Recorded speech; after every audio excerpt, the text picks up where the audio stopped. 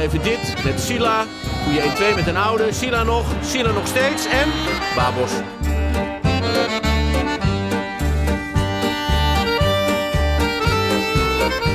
Als daar Babos met een prachtige reactie op de kopbal van Cristiano.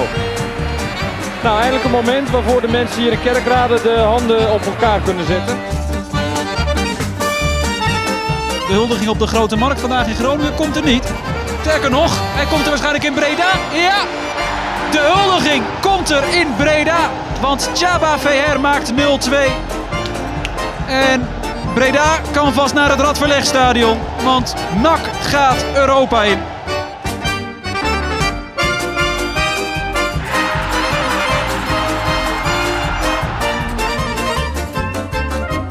VR met de kans en het is 2-0.